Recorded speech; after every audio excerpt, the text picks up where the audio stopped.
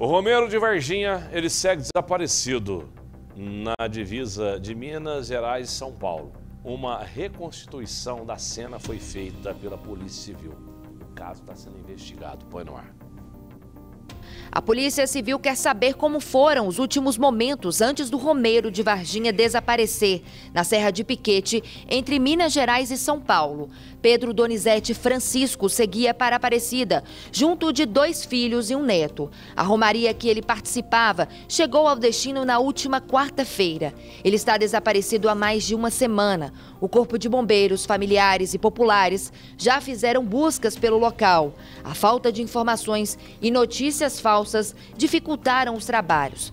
O primeiro a ser ouvido pela polícia foi o filho do Romeiro, que disse que o idoso desapareceu quando ele foi ao banheiro.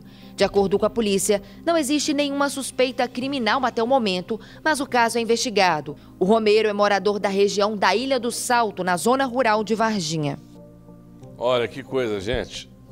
É, não tem uma pessoa sequer que acompanha os jornais, que estão sempre